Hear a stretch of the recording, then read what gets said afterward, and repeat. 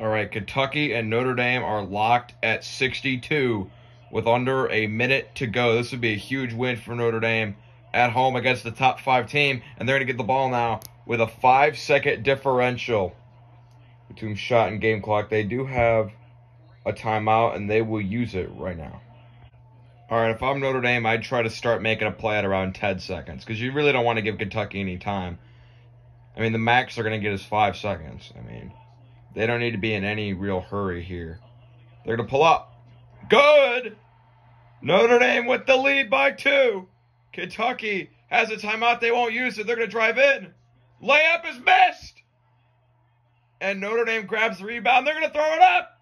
And the upset is complete. The Irish knock off number 10 Kentucky. A big win for a 3 and 4 team. They're going to storm the court. A great win for Notre Dame. Huge win over Kentucky. Oscar Tshiebwe, I mean Judas is uh, not that is not happy. And a great win for Notre Dame. They get the upset win. What a thriller. Uh, nice job, Notre Dame.